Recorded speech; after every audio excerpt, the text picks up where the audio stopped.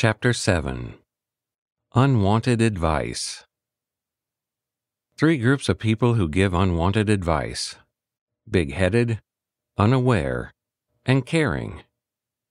Big headed. This group just likes to hear themselves talk. Mouth is always running like Usain Bolt. Their advice is a way to just brag about how great their life is. Unaware. This group is not malicious, but they think their way of doing things is the only way. So they give you advice thinking you want to lead the same life they currently are.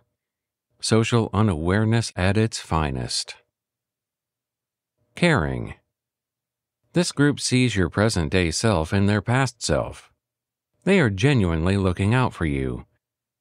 Even though you didn't ask for advice, they feel like it's their duty to save you some heartache. So they give you the advice to save you your most precious asset time.